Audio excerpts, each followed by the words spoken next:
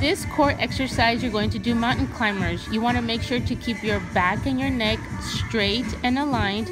You will bring your knees up to your chest. You can modify this move by bringing your knees up to your chest slowly.